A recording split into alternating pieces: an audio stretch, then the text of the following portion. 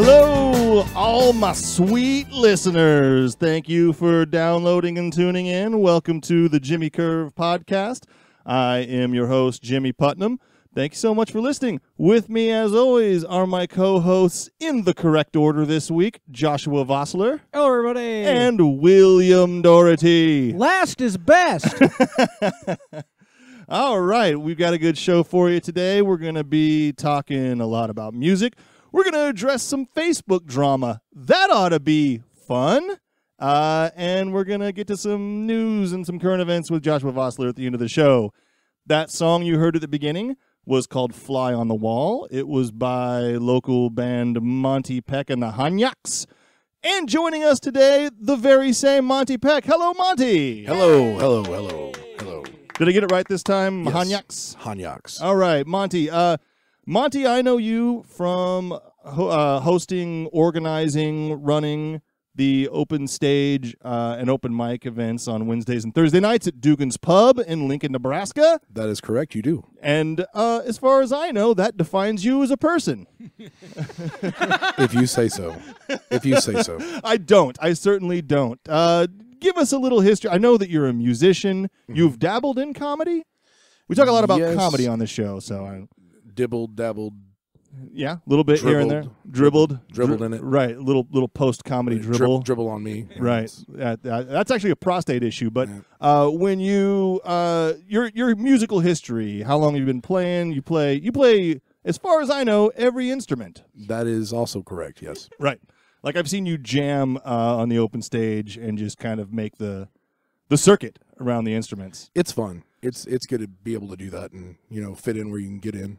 So, uh, how long have you been playing music? Where did it get started for you? Do you come from a musical family?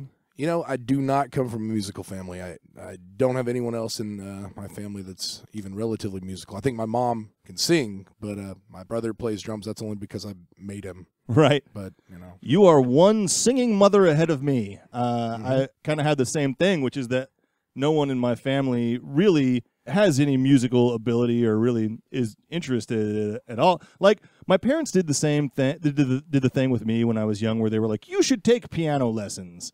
But I think that was only because they thought it sounded like a good idea. They weren't really invested. And when twelve-year-old Jimmy was like, "Man, that sounds no fun at all," like I, they were like, okay, fine, don't. But now I really wish I would have because, boy, was it an uphill climb to learn music at the age of 18.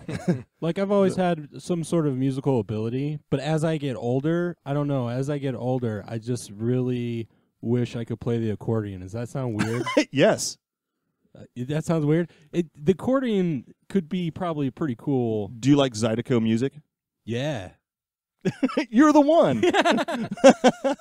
uh, yeah, Zydeco music is bad. Anyways, uh, I'd like to see that sometime, Josh. I'd like to see you play accordion. Oh. I wish I I had any like a talent to do that. the accordion, though, is where the two loves of my life, other than people, specific people, anyways, the two loves of my life meet, which is at Weird Al Yankovic, which is music and comedy. Oh, me. Okay. I thought you, as you were listing the two loves of your life, the first one was meat. the two loves of my life, meat and parody songs. Me- meat is more of a passion than a true love. Uh, Right. You know. Meat is a weekend fling. Well, he, what, music and comedy aren't killing me as fast. like you have comedians that play the guitar, they don't sing, but they just tell jokes over guitar playing. Right. Okay, picture that. Yeah. Like Zach Galifianakis does with a piano. Right. Picture that, I am. but with accordion. It's oh, it's awful. Oh, yeah? that sounds bad. so where did it start for you, Monte? Like, where, probably around the age of uh, probably around the age of 14 nice. uh, I was playing football Where are you from? i'm actually from a small town in south texas Mm, very small town like a blink and you miss it town on the way through right. Um, very small town Hallettsville, texas Okay. What what what huge city is that close to? Mm, that's a good question it's not really close to any of them but if you Uh-huh. know your texas geography which most people do not up here No. um, somewhere between austin san antonio corpus and houston smack dab right in the middle awesome. It sounds like a good place to do some nuclear testing. It probably would be. I I would sign the petition. If, totally. No, actually, I, I I've been playing long for longer than I haven't at this point, Okay. and uh, started around you know 14. I was playing football, uh, broke my legs, and so that kind of ended the whole sports thing for me at that point. Broke So- your legs playing football? Yeah. Jesus. Well, broke Wait. one and then had a resulting injury because of that broken one, which Oh, is a real good story. Okay, good. I was gonna say I was gonna be real excited if I was talking to the guy who managed to break both of his legs playing football. No, I do, I've never loved football that much. so yeah, I, I broke a leg, and then a resulting injury from breaking that leg. I was confined to a wheelchair for a while. Once I was in the wheelchair, I started playing guitar. Then just it kind of took off from there. I just kept playing. I learned practically every Nirvana song, yeah. as most people did at that point in time. right. Um, but yeah, and just I kept playing and playing and playing and kept playing. I've been in and out of bands ever since I was, I guess, 16 or so. I feel like And- we're about the same age. I'm 36. I, I will be 35 in three days. okay, good. Is Oh, it happy birthday. Hey, thanks. Thank you. Wait, Is what's it- today? Today's the 15th, right? I don't know. I think it's the 15th. Probably. so? So is it safe to say that at a fairly early age you discovered that like music would allow you to get laid without taking care of yourself? Yes. There's yeah, no debate. Absolutely. Much like comedy's done for you, Will. Um, I've been in one relationship for my entire life. I've never done comedy to try to have sex with someone. I've never done anything to try to have sex with someone. Oh, Uh. listen to this guy. well, I, I I'm the same as Will, though. Like, I've been in a relationship for 20 years now. well, 16. I yeah. A I'm, long time. I'm married and I have to do a lot to get laid. so I don't know what you're talking about. So like I really do like musical comedy and I've always wanted to try some, but it feels super hard to do that well. It feels like it's really easy to write like a three chord rock song and play it in a way that some people will find entertaining. Like musical comedy is really hard. It's what's funny about musical comedy is that there are like six people on the planet doing it well. and that's about it. I mean, how many people can you name that consistently, you know, there's like Weird Al Yankovic, Garfunkel and Oates, The Book of Mormon, and that's like it. I don't know. I think Adam Levine's pretty funny. I, I You're not a big fan. ho- No. okay, wait, hold on. Who is that? Singer of Maroon Five. I think it's Avril Levine's brother. Actually, I'm not sure. I Don't know any of these. They might be related. They both stink. The guitar player for Maroon Five went to my high school. Yeah? That is all. Yeah, he's It the just guy sucks. from Maroon 5. That's the Adam Levine, the guy that's on The Voice. The guy who can't sing but yet judges people on their voice. He sings really high. And like, Yeah. yeah. Okay, Well, autotune helps him sing there. Yeah. all right. Yeah. You didn't like Maroon 5's Maroon 5's like first album? Mm-mm. Oh, you didn't like. Oh, you didn't like no. it from the start. No. You just you knew from the start this band's bullshit. Yes. You kind of knew where they were going, and that's Mhm. where they are today, which is a total fucking sellout piece Yeah. of shit band. Yep. hey, they had the money, so apparently they're doing something right. You know. Yay, Maroon Five. Maybe they'll maybe they'll make an appearance in an upcoming Slot Forty. Do they still put out songs? I don't know. I know they nothing by do, them. and they have a terrible song on the radio right now. Yeah. Nice. It's pretty bad. Sing us a few bars, Will. Oh God. Isn't that that animal song? Yeah. Animals. Just like animals, like animals, like animals, man. Yeah. That he pretty much just summed it up. Then there it is. Oh, that was Uh, beautiful. Actually, that sounded gotta better than Maroon Five. we gotta start videoing this and Thank putting you. it up just for Will's uh, shaking his tits. Yeah, Will did a, a really nice like shimmy there. It was like I think I've seen guys in the NBA do that move after dunking, like into the shoulder shimmy move. It's a visual gag for everyone uh, not paying attention. Let's wh- what Monte, give me give me your five favorite bands. I know that's an impossible question, but just like No, it's not impossible. awesome, you've got it. You got Five five favorite bands. Yeah. In no particular order, or possibly a particular order. Let's find out. Okay, The Beatles, okay. Okay, and I don't. And hold on, let me let me just go ahead and say Check that box. I'm not saying, uh huh, exactly. I'm not saying the Beatles because it's in vogue to say you like the Beatles. I actually really, really like the Beatles. Can I tell you something? a little bit too much, I think. Can I tell you something? I respect the Beatles. I get how important they are. I do not dig them. I love They're not for everybody. music. Well, it is. It's so weird, and mu- people get so intensely passionate about music. I mean, that's the point of it. Is that it's supposed to inspire like intense emotions. right. And but like if you're like, nah, I don't really care for the Beatles. Like there are people who will get really offended and hurt. Oh, like yeah. who will Well- attack you. I I don't hate them if they're on the radio. I don't dive for the Right. channel. Like no. Well, I think But- I think that's the difference right there. When people are claim claim to be inspired by the Beatles, I I don't think I could ever really claim to be inspired by them. I just enjoy the music. right. Um, also, uh, number two, Soundgarden. I've always liked Oh, Soundgarden. fantastic. Definitely a band, you know, the, Un- of the 90s thing. underrated band. They get lost in the whole like Yeah. Nirvana Pearl Jam shuffle, but S- Soundgarden. unfortunate. And then uh, I fucking love. What was the next Chris Cornell project? Uh, Audioslave. Yeah. That was a good. awesome. band. Yeah. Again, not Audioslave, not one of my favorites. Right. But uh, let's go with number three.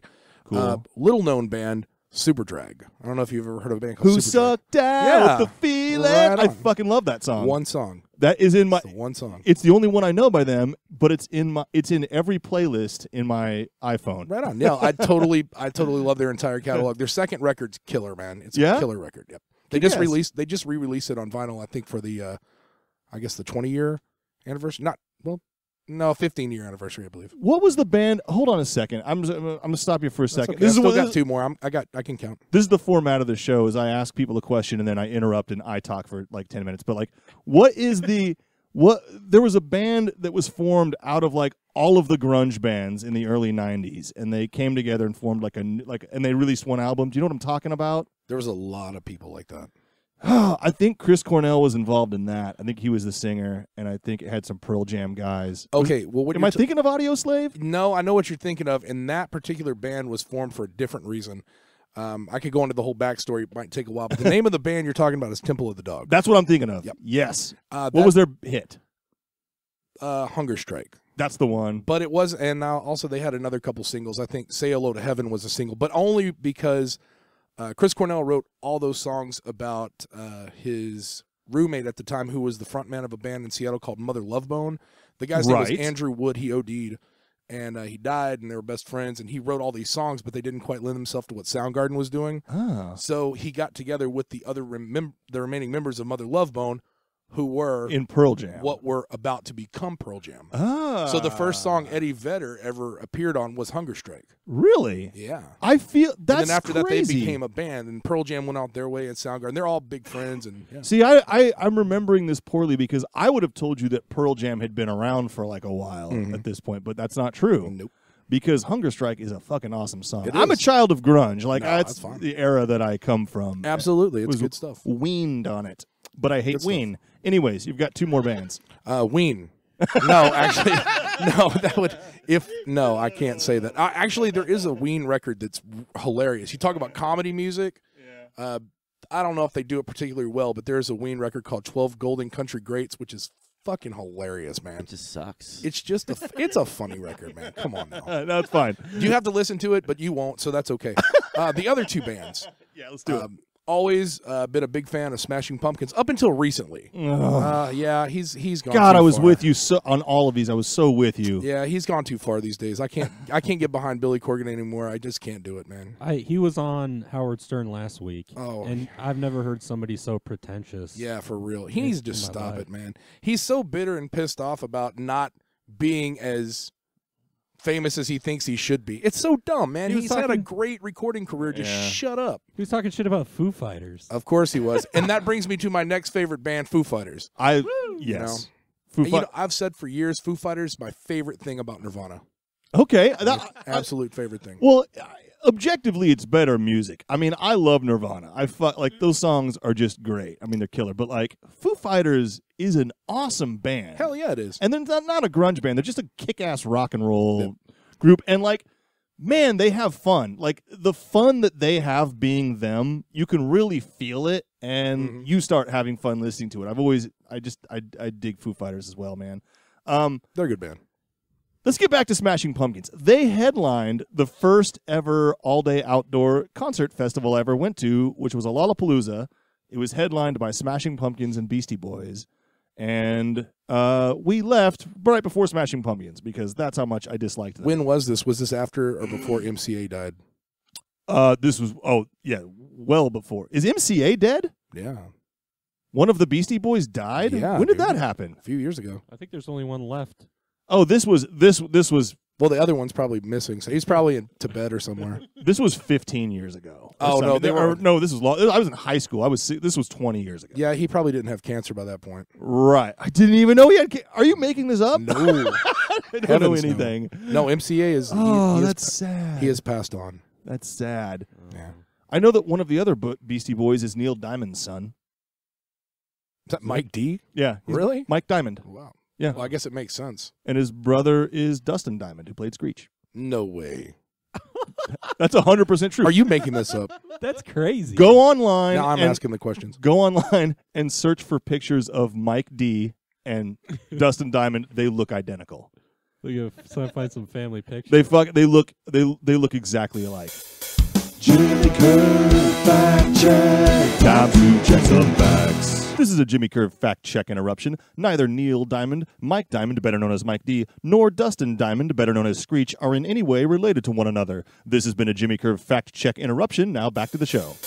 Jimmy Curve fact check. Time to check some facts. Uh, Will Doherty, five favorite bands. Oh god, this is so embarrassing. Um, I don't know anything about music, and this is what I say.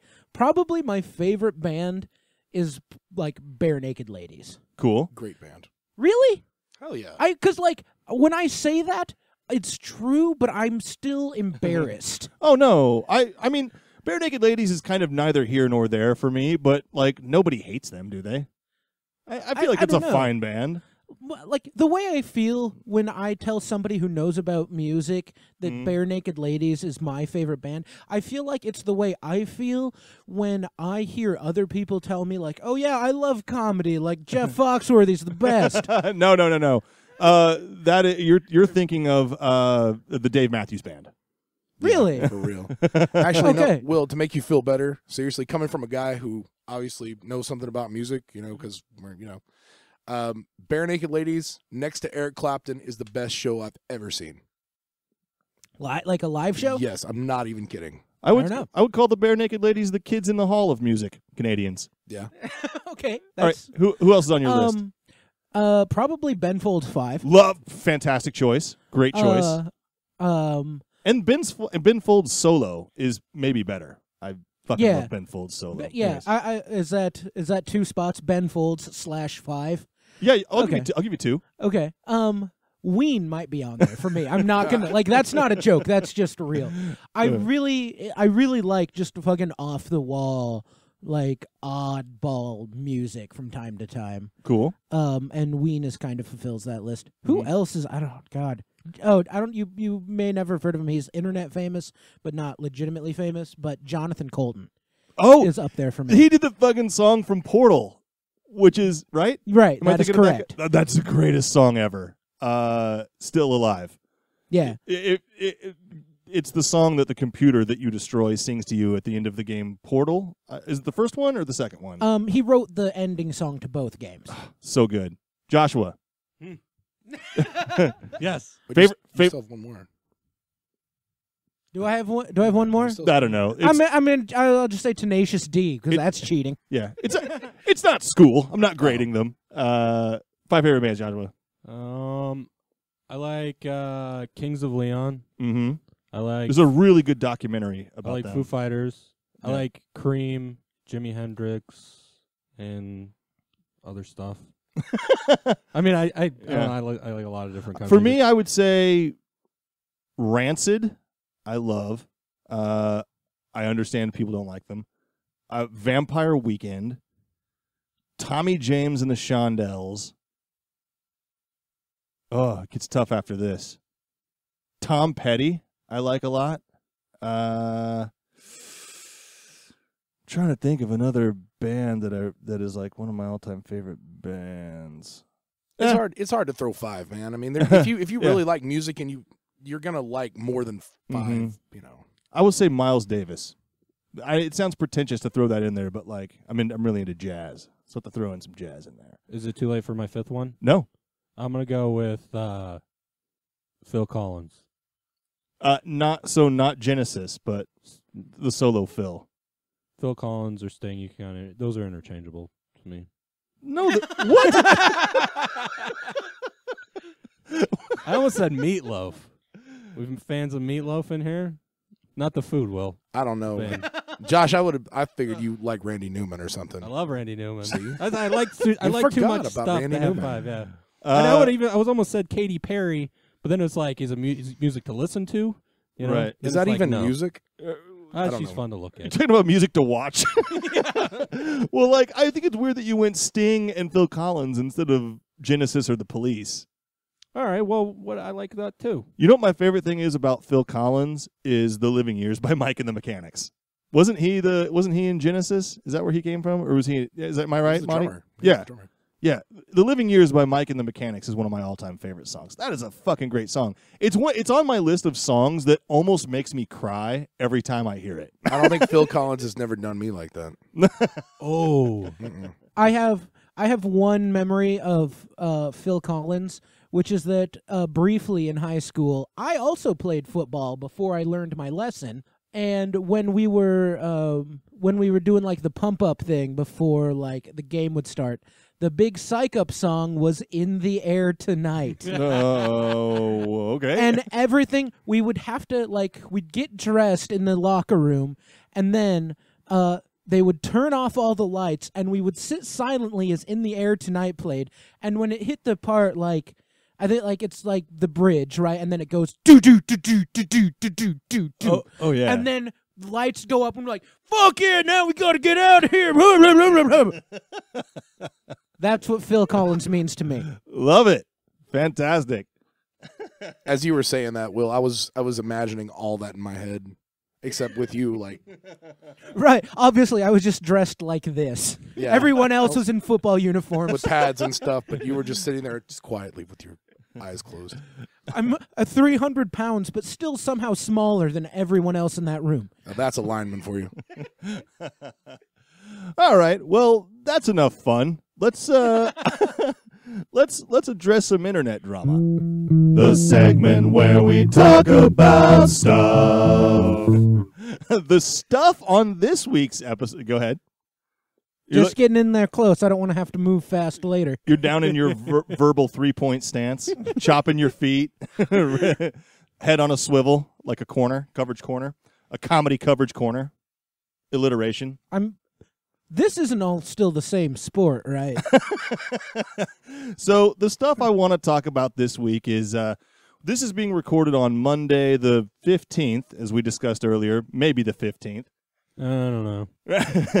and uh, so there's some there's some internet drama in the local Nebraska comedy community, and I I felt like I should address it uh, on this show. Mm, I wanted to address it on this show. I don't feel the obligation to do anything. No, no one gives a fuck what I have to say, but it's what I it, it was. Let's be honest. I didn't have any other ideas. It's time filler. So we have uh, a good friend, uh, Corey Brewer. We do a segment on the show where we make fun of his ridiculous Facebook posts, and uh, Corey got himself into a little bit of a tr- a little bit of trouble by making a post on Facebook that some people took out of context. Uh, a bunch of people piled on. Should I have named his name? Yeah, now you have to say what the meme was. Yeah. Uh, somebody else explain it. I don't. oh fuck me. All right. Uh, so the he he took a picture. Uh, he he didn't actually make it. Somebody else made it, but he posted it on spread it on Facebook. There was a picture of him performing stand up, which is a, a common thing that people do. Like they they refer to him, I believe, on the Reddit as the stand up shots. so slash Reddit slash stand up shots. I don't actually use Reddit. I don't know how it works. Um, uh, but it was a picture that's of him, and it said, uh, uh, if I remember correctly, something to the effect of, I'm not racist. I once fucked a black chick. And then at the bottom it said, then I went back to fucking normal people. Now, let's be very clear. That's stupid and offensive. Yeah, You know, and racist. and and a racist. You know, uh, and and I'll and I'll say this at first. Corey is a good friend of mine, and he's a sweet guy, and he's not a racist. But he he is dumb. but but well, Corey Brewer in person is just a sweetheart, and he's a very nice guy. And I've never heard him. Uh, he's never done anything mean to me. But online, Corey But Brewer. in fairness, you are white. on, Boom, nailed it. I let it out. Uh, you know, uh, but online Corey is sometimes a dumb child, and he knows this. Corey is well aware of what online Corey is like, but it, Uh, some of the po- some of the posts are pretty fucking abrasive, they, to say the least. they they are they are. Here's here's what i wanted to get at though. Here's the interesting part. I, it's not bag on corey time. I've kind of defended him and i sent out some private messages and i totally understand why people are upset. I totally get it. But here, here here's the what's interesting to me. So the internet is a weird place and the reason is that we can define our own countries like there was a thing a couple weeks ago where there was a picture of Kim Kardashian's ass, and it was like "break the internet, Kim Kardashian." And what "break the internet" means is this is the only thing that you're going to see if you're on the internet is stuff about this, and it's going to clog up everything you're doing. Well, that's true if you are spending your time online visiting sites where people talk about that. It didn't affect me at all because I don't spend time reading forums on Reddit or blogs on Kim Kardashian or whatever. I don't know, but a lot of people that's what they do. Like I was listening to a podcast earlier today that was talking about a guy, an online, uh, an internet personality, uh, whose username is PewDiePie. Is anyone familiar with this person? I, I believe it's pronounced PewDiePie. is that true?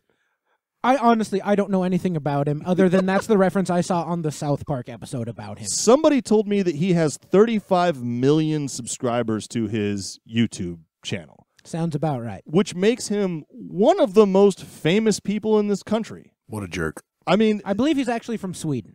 Whatever it is, it's like vi- it's like him playing video games and yelling at the game or whatever. Yeah. Um, but it's that's a huge celebrity who I had never heard of until I heard him mentioned on the Cracked podcast this week. But I didn't know who he was. That's what makes the internet so strange. Is that like it's like in if you think back to 20 years ago or whatever, or imagine a time 20 years ago, imagining like a guy who was a huge star, like the most famous pop singer in Brazil. None of us would have heard of him. He's not here, but like over there, he's a huge celebrity. Well, that's what's weird about the internet is that a per like somebody something can just completely take over an area of the internet, and it can be all someone's world all someone like sees in their world and another person who lives next door to them can have no idea what's going on well in my small internet world this kind of took over today i guess is the point of all of this and a lot of our listeners are going to have no idea what i'm talking about but it is just strange that the things that i do online and the the what what i use the internet for today was just completely taken over by what I think of as cyberbullying and a bunch of people just being really mean to each other. And I think a lot of them had a uh, a point to make. I, I don't think a lot of it.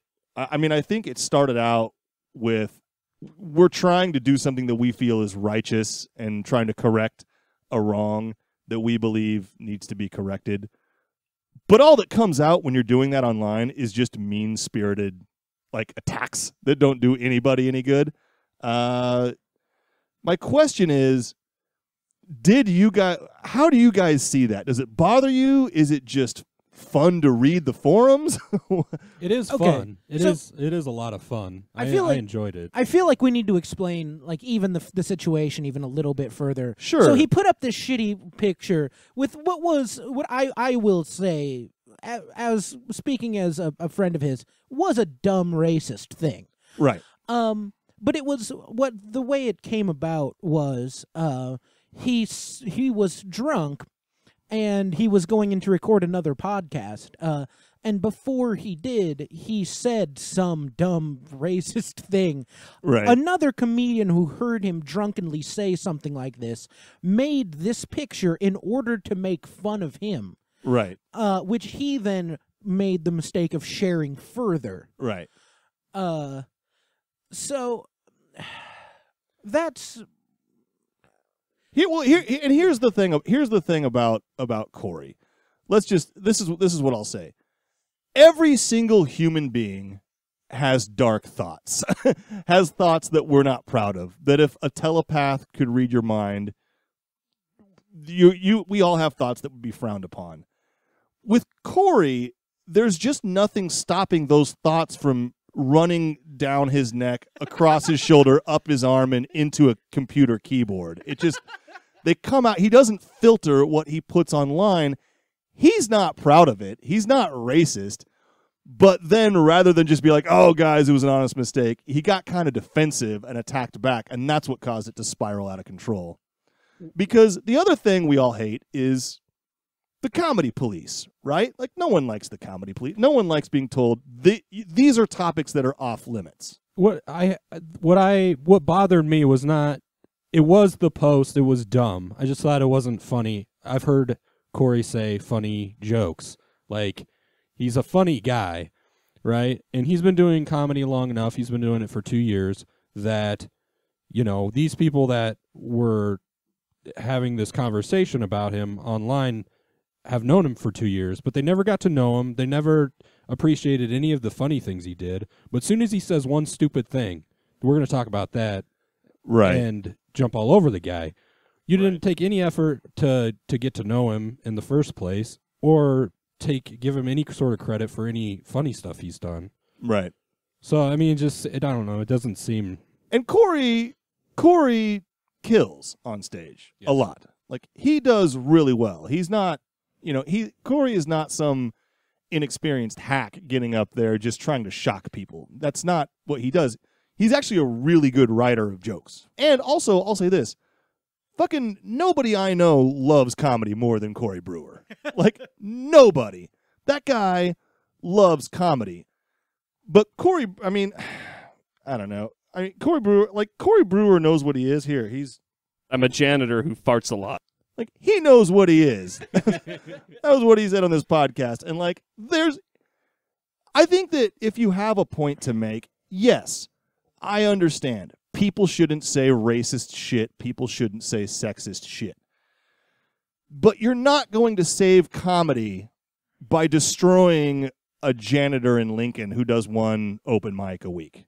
That you- you're not doing any good. You're just picking on someone who can't defend himself at that point, I feel. Right. Well, and that's the thing. Th- that's that's what draws. That's what changes it. I think, in my mind, from being something constructive to just being unnecessary, useless bullying.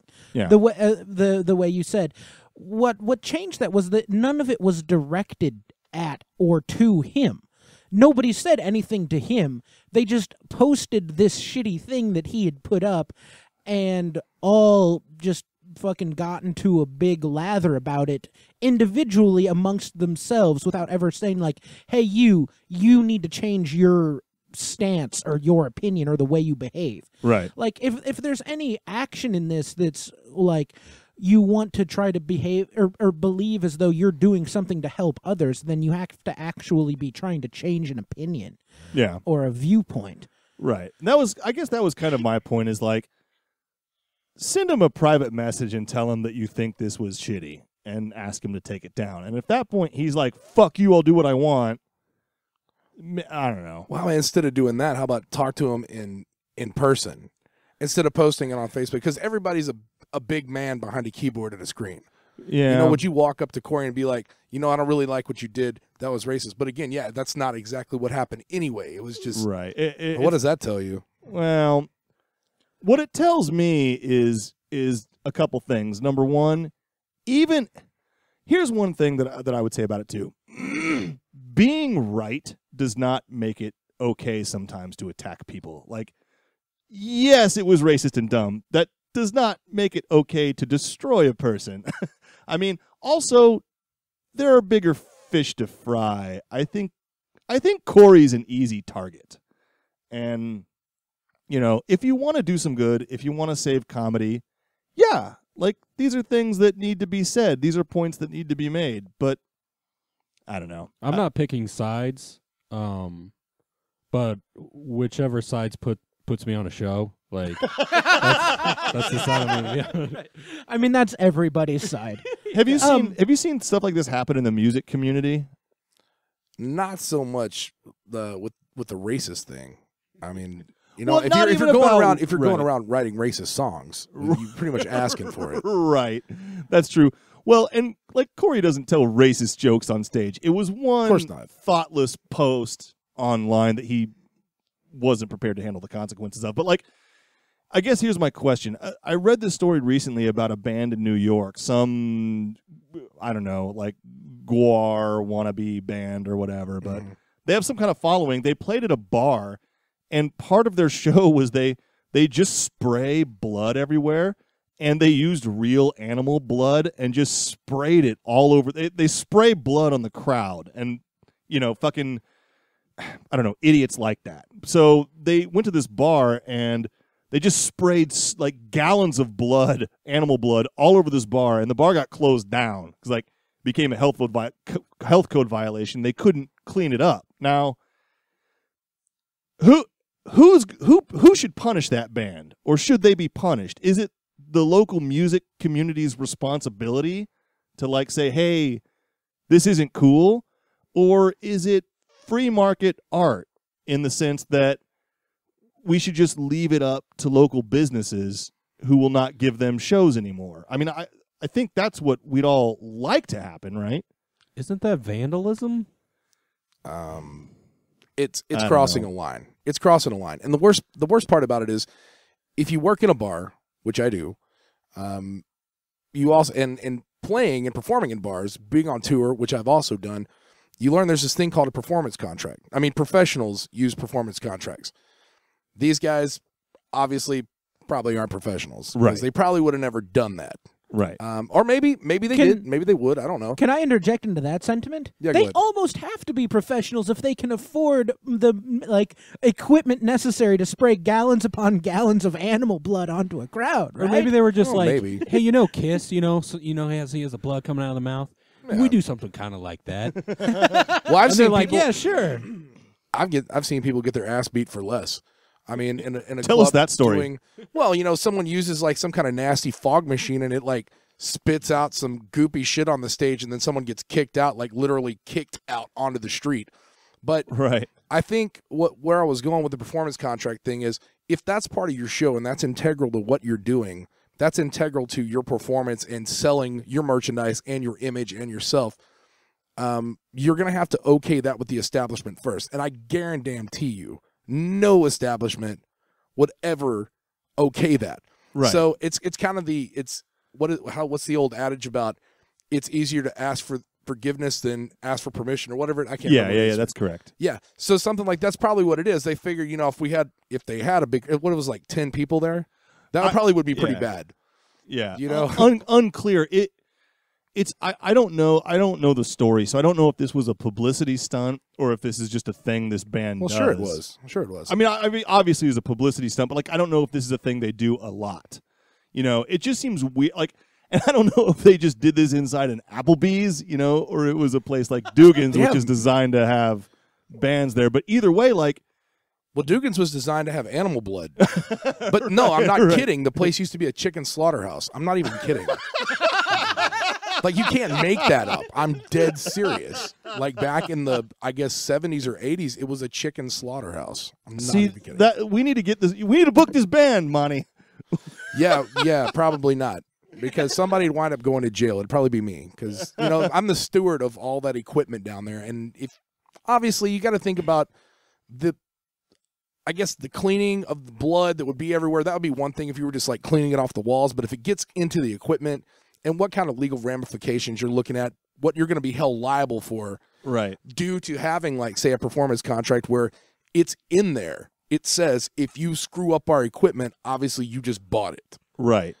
and you have to sign off on it. Now, a band that doesn't have you know a pot to piss in or a window to throw it out of, and they're on tour and they do something like that. I mean, how can you hold them liable? You're going to sue that band. What are you going to get? Like a cheese, Right. you know, a chili dog from them? right. They don't have anything.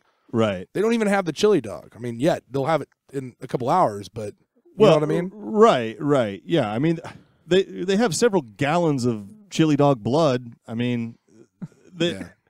I, I I don't know. I but like I guess to bring it back to you know our a more relevant topic, like is it the is it the responsibility of local comedians to to police ourselves to say, listen, what you're doing could potentially cost us audience members at other shows that you're not at. Like what you're doing could give our comedy scene a bad name. I I guess my opinion is I don't necessarily think that's what ha- I don't think that really happens a lot.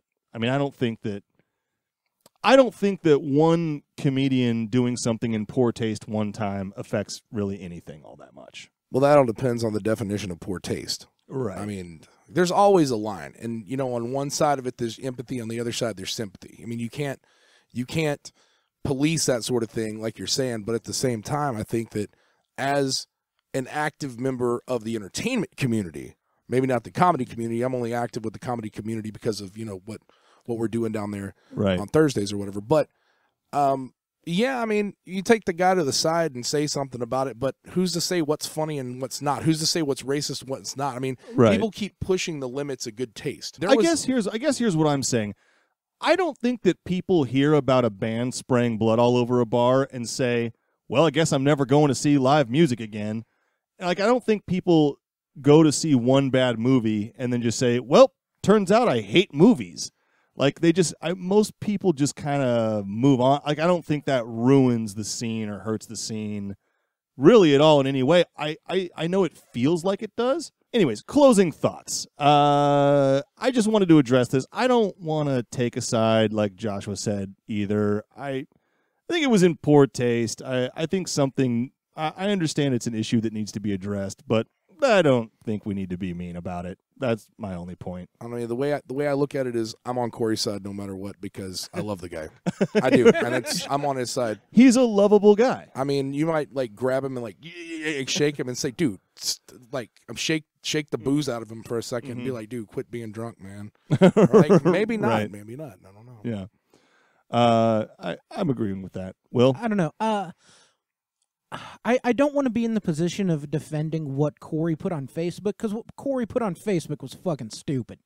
But I think that there's a danger here that I've seen happening, where like the the comedy community has been a little bit too eager to form a, a mob in the past Yeah. um, I, I something somewhat similar happened at a show I was at.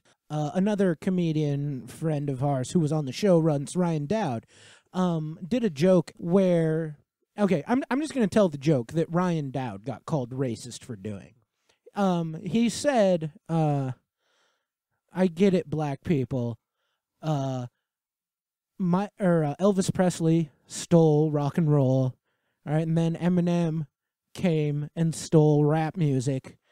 But damn it, Neil deGrasse Tyson, don't take nerdy star shit from us. All right, that's all white people have left, Right. except for being 99% of the wor- world's billionaires and being able to get away with financial crimes. But basically, that's it Right. and he got called like and and a bunch of comedians uh like jumped on a bandwagon to say like he was being racist on their show because of that joke and that to me is an example of them being so oversensitive to a joke that's obviously making fun of white privilege that i'm suspicious that they seem to just be motivated by wanting to be offended by something That's you couldn't have said that better. That's Yeah. absolutely true, man. That's just the way it is. well and and and, and like i said in this instance they were right to be offended Right. Uh, but there, there's still no good in forming a mob, forming a mob about it. Like, I would have, if I saw Corey had posted that, I would have gone, "What the fuck is wrong with you?" right. I would have said something, but I would have done it to be like, "Hey, be better than that," not, you know, we have to stop you from doing comedy. That's Yeah. pretty much what I said to myself as soon as I saw it.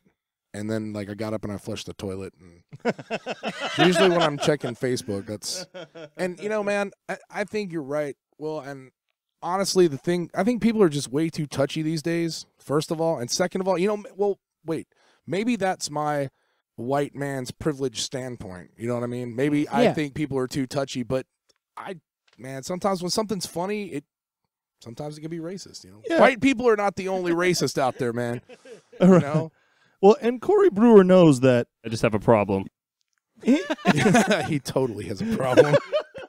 he Corey is well aware of that. I, I I don't know. It's the whole thing is just sad. Like no one's doing anybody any good. Uh, you know, let's just be nice and move on, right? Yeah. Or just hate each other Or just have it out in the silently among your own friends and then I'll talk about when you how about these people you hate not on the internet.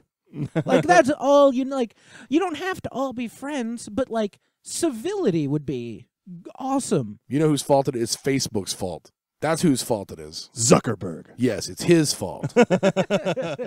totally. Uh. Fantastic. Once again, it's the Jews. That's not racist. it's okay. I'm Jewish. He's my co-host. That gives him carte blanche. Correct. Let's do some news. Joshua. Joshua. Joshua Vossler. News. Hello, everybody. The Stamp Act of 1765. How about the Stamp Act of stu- Stupidity of 2014? Ooh, are we talking about stamps? Yeah. That's one of the I. I fucked up the. I don't want to even do that one anymore. okay. Edit all this Uh, out. we're, we're going to leave the stamp story to your imagination, listeners. Oh, I'll do Deal it. with it. It's quick. A uh, a 40 year old uh, North Carolina man was sentenced Thursday to two years in prison for bank fraud after writing more than fifty-eight thousand dollars in bad checks for postage stamps. I'm really white. Well, so I guess what we're saying is the premise of Ryan Dowd's joke was wrong. White people can't get away with financial crimes. That's racist. yeah, I did say it was white. He bought he bought a bunch of stamps with bad checks. Fifty-eight thousand dollars worth of stamps. Why? Uh, when his defense attorney was questioned about uh, him buying the stamps, his defense attorney wrote in court papers that her client was abused as a child, loves to cook, and hopes to someday operate a food truck. Oh man, that sounds like dumb white people. Yeah. but didn't have anything to say about the stamps. I st- stamp fraud sounds like one of those things like using a telephone booth. Like that doesn't sound like a thing that really happens anymore, People right? still use the mail. We've figured out better ways of delivering information, right? Than stamps, haven't we? Well, I don't know if you know much about stamps. He he bought fifty-eight thousand dollars worth of stamps. Dude, don't act like I don't know shit about they, stamps. They don't hold their value.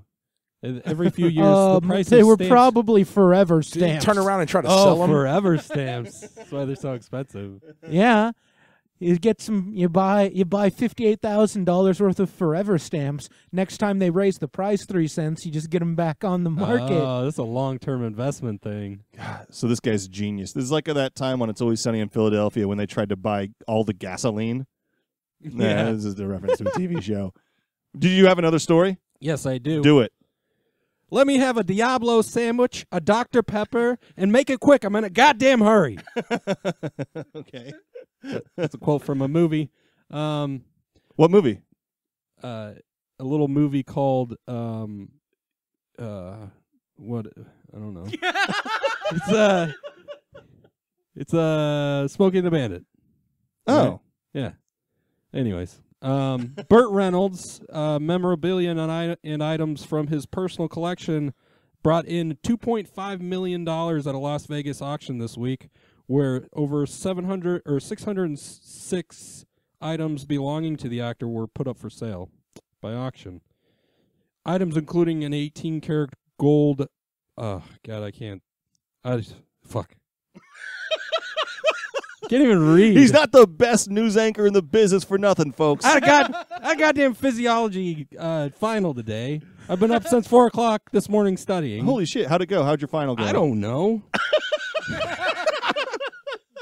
have no fucking idea or care. You get to the point where you just not only do you not know, but you just don't care. Boom, nailed it. Items included a 18 karat gold pocket watch that Sally Field gave him, his Golden Globe Award, and a canoe uh, made for the movie Deliverance. And uh, the biggest uh, sale item was his black 1977 Pontiac Trans Am, which sold for $450,000, which seems a bit high considering the car was only a promotional vehicle for the movie and was never actually in the movie. Uh, Reynolds insists that he is not broke. Uh, Well, not anymore. yeah. And then I found this other uh, quote L- Let's hear it. Smokey and the Bandit, which I found fitting, which he said in the movie, uh, for the good old American life, for the money, for the glory, and for the fun. Mostly for the money, though. I really wish I could have bought one of uh, Burt Reynolds' Golden Globes. what would you have done with it? I would have given it to my father for Christmas. All right. Yeah. You know, I mean, what do you what do you buy the man who has everything?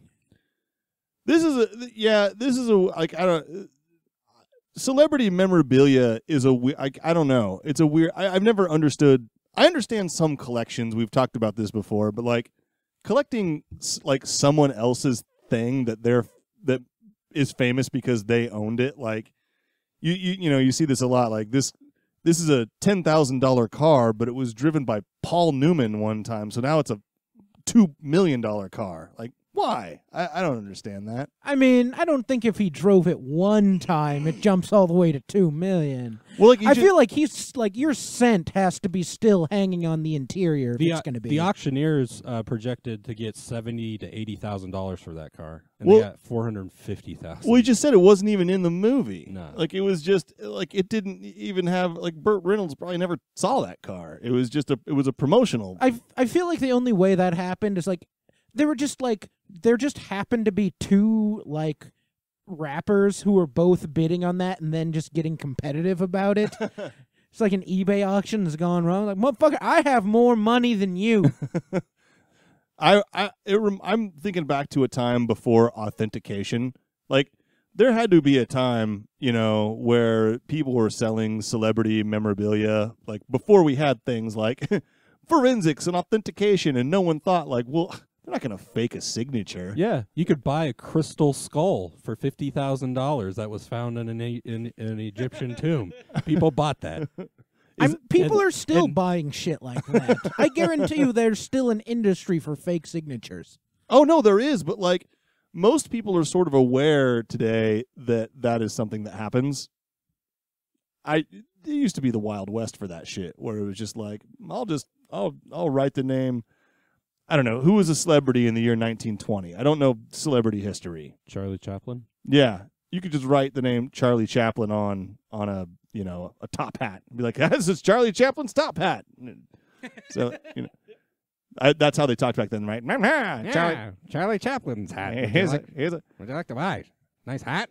Yeah, here you s- sell me Charlie Chaplin's hat, Josh. Hey, you look like you need a hat. I do. Oh, I just happen to have Charlie Chaplin's hat. But it's not the weather for hats. Oh, you'll get laid in this hat. Oh, what makes that better than a regular hat? Yeah, get some nookie. Well, I don't know your term, future man. what is this nookie you speak of? and I scene. I dropped. I told you. and and scene. I just want this to be over. well, thank you for tuning into the Jimmy Curve podcast. I hope you're. Go- I hope at that point, as soon as he says that, you're going to edit in the sound of a gunshot. Uh, I'll make that happen if I can. Uh, if not, this conversation is really weird, and you didn't hear a gunshot there. But hey, thanks a lot, everybody. Uh, let's wrap it up here. Let's do some plugs. Who's got a plug? Who's got something they want to plug? It's your plug. Uh, well, if you're listening to this on the day it comes out, then uh, I am going to be along with my far inferior nemesis Jimmy Putnam uh, at Agree to Disagree, Correct. uh, where he's going to be on the side of organized religion. well, we're we are debating religious Christmas versus commercial Christmas. uh, in op- Obviously, I've already won. in open debate. Well, that won't stop me from trying. Uh, what else? And uh, earlier that day, I'm on Pomedy, a comedy show to raise money to support some sort of pet charity uh, at the Backline Improv Theater in Omaha, Nebraska. That's at 8 p.m. And then Agree to Disagree is at Oliver's God, I don't even fucking know. uh, at 9 p.m. So come out to see that. Uh, come to Dugan's every Wednesday and Thursday. Hop up on a stage, try your hand at comedy or music on Wednesdays. Uh, do you have anything else, Monte, that you want to plug? Mm, no, Your band. I suppose. Do you guys uh, do you have a band that plays around town? No, does I don't. That's that's why there's there's really no band right now. Actually, we're we're in the process of uh, working on some music right now. Um, I've released. I have a couple commercially released records out there. You can pick up. Uh, you can go to iTunes. You can download them wherever you want to get them from. Uh, you Awesome. can- You can, buy them in uh, some stores. You can get them on Amazon, whatever. Um, but we are working on a couple new records right now. I do have a guy in Texas who's uh, always been the guitar player for the Hanyaks. I kind of work in tandem with him. I have the bass player lives in Florida right now. He might be moving here soon. I'm really not sure. I just started working with a new drummer, and we actually tracked a song today. Um, it's it's more or less the bare bones demo version. I'll let you guys listen to it in a minute. You can tell me what you think. But um, yeah, probably won't have anything to sell or push for a while. All right, so just sit on your hands in nervous anticipation of upcoming performances and uh, purchasable music from Monte Peck and the Hanyaks. Uh, and so I'm going to leave you with one of their songs. Uh, we we just listened to this here a little bit ago. This is super hilarious. Uh, I really enjoyed it. This song is called "So Emo" for Will Doherty, Ah, first, Joshua Vossler, If you're interested in getting some nookie, and our very special guest, Monte Peck. Have a good night. Thank you very much. Thanks for listening. Have a good night. Walk around all day, staring at my feet.